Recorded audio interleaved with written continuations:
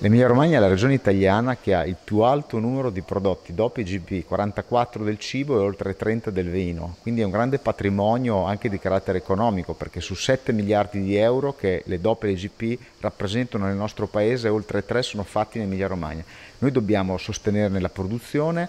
Dobbiamo proteggerli anche dalle imitazioni che a volte subiscono nel mondo, ma dobbiamo soprattutto farli conoscere ed apprezzare sempre di più. Il palinsesto che abbiamo presentato oggi è molto ricco di eventi, siamo riusciti a metterlo insieme nonostante le difficoltà del Covid, saranno delle grandi occasioni per presentare il meglio della nostra enogastronomia. Il binomio e la collaborazione fra il turismo e l'agricoltura in questa regione ha diciamo, delle radici molto, molto solide, naturalmente